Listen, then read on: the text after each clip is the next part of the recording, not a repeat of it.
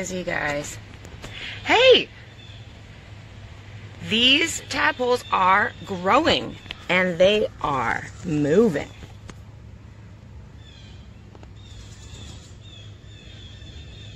Check them out. Hey, busy guys. See, look at that. Look at that. Look how fast you are. So I uh, clean the water again with my clear bucket. Um, I tidied up. I tried to get rid of some of the more of the icky, you know, bits and pieces of muck. Um, and need to organize. I took out some of the jewels and stones here because I was disrupting the water. And these tadpoles all were hanging out on this side, the opposite side from whence I was pulling the water of the dangerous bucket. Um, but let's see. Go get some food. Look how fast you are. Their tails are getting thicker, finally. The water is not cold and freezing. Trying to give them the best environment to thrive. Sprinkle some more magic. Need to fix this ramp. We are expert ramp makers in the preschool three classroom, right guys? Right? We make some awesome ramps. Um, I'm trying to inspect, look at it up close on this tadpole that's moving around. His tail actually does, I can see sort of a translucent fish-like tail that is actually wider than that dark thinner waggly part of his tail. Almost looks like there's fur on it or something. I don't know what that means, but the not all of the tadpoles have that same sort of change in their look. So I wonder what happens first. Do the tadpole legs get shorter? Do they get thicker? One of them's getting thicker. Do they get shorter and then some legs grow and then the and then the front arms grow and then the tail disappears? We're gonna see. We're gonna see the order while this happens. So right now, in terms of busy, thriving tadpoles, I count one, two, three, four, five, six, seven, eight, nine, 10, 11, 12, 13, 14. Some of them started moving around and they're also obviously rocks they can hide under. But 14, should we do that again? One, two, three, four, five, six, seven, eight, nine, 10, 11, 12, 13, 14. Look how busy. What's up, crazies? You're gonna be moving soon. You get out of the water soon. Should probably make room. Can't just be jewels up here. Although who doesn't want to scale a mountain of jewels to get to the top? It's a little bit more glamorous. of course, we have to have a glamorous tadpole container. Would you expect anything less from Miss Ansley? Glitter girl? Okay. This is exciting. We've got some healthy, healthy tadpoles. Unicorn ducks. Kind of let me down with your floating ability. Pattern of our buggies. Recognize this pattern?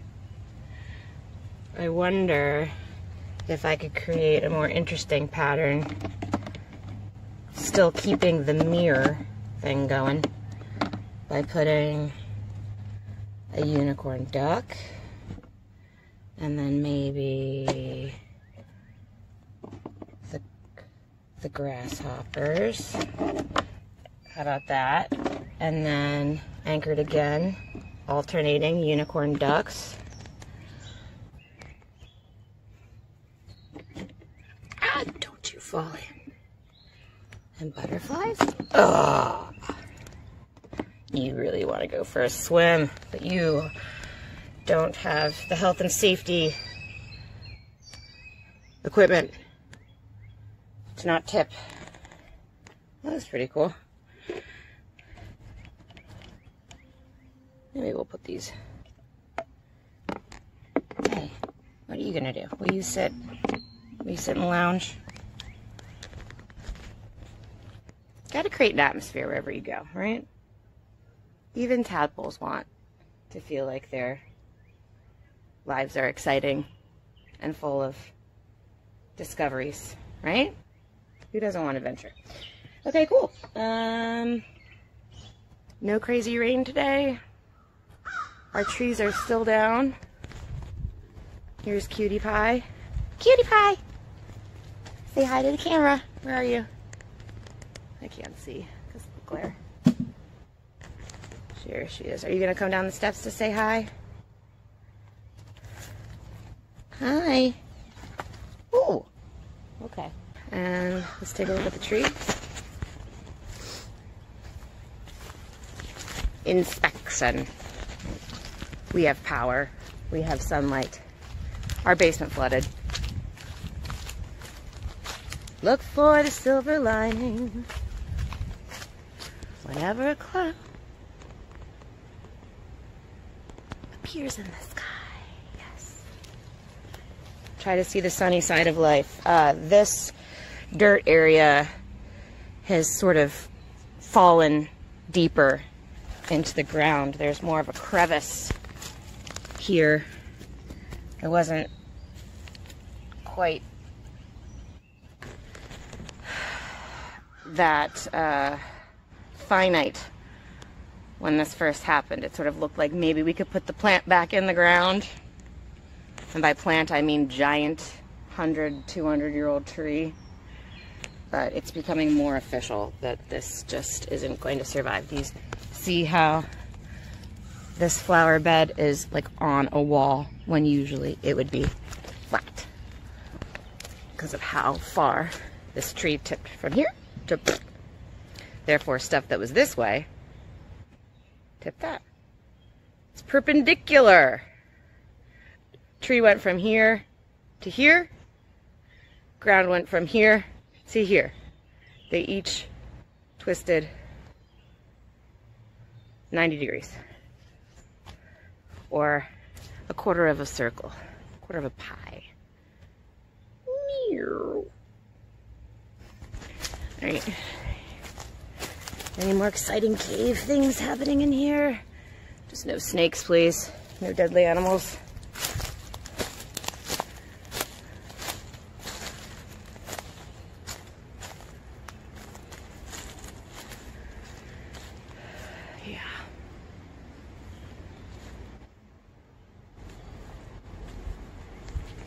And if any parent can tell me, because my Gardener of Eden mother is not entirely sure what kind of plant this is, they are like lilies of the valley, although they are a shrub. Um, lilies of the valley are like plants that more grow from the ground, like in a flower bed, like flower, versus like a tree, like this guy.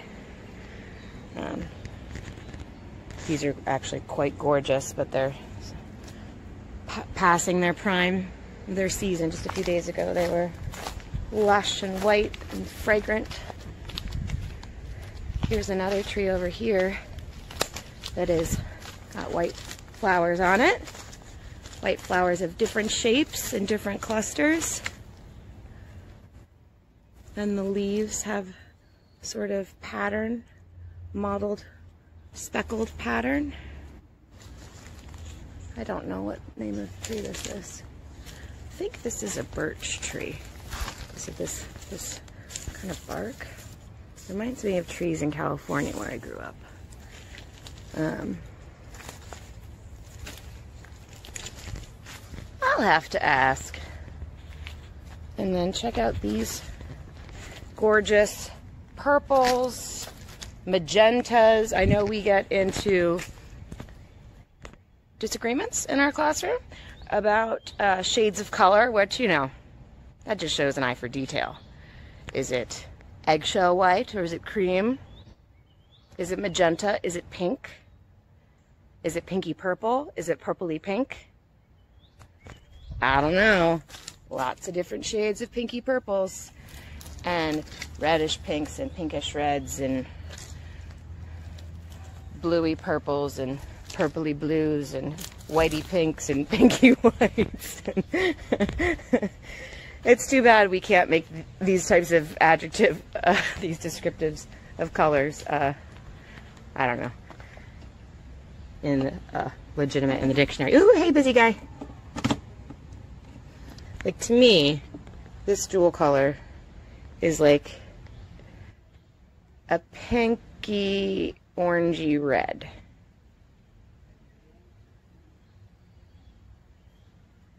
It's not orange. It's not red. It's not pink.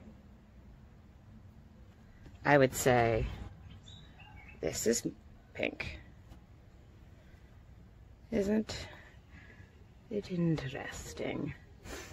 The nuances of color. For example, we've got this light blue jewel circle and then this dark navy-ish color, royal blue, cut like an emerald cut. This, I would say, was kind of a greeny yellow, mostly yellow, but not like Mr. Golden Sun yellow, not like Bumblebee yellow. I am grateful that I'm not colorblind. I am grateful that I have my eyesight. I am grateful that I can observe all of the range of colors and shades.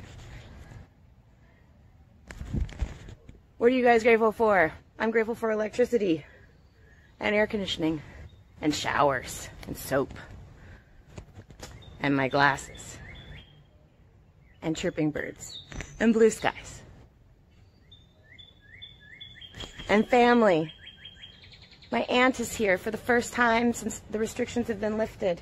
She's here for Sunday dinner. So I'm to go um, enjoy her company. Um, we're all staying away from each other, but at least we can break bread. So, anyway, miss you. See you in like a week and a half. We're going back to school. Yay!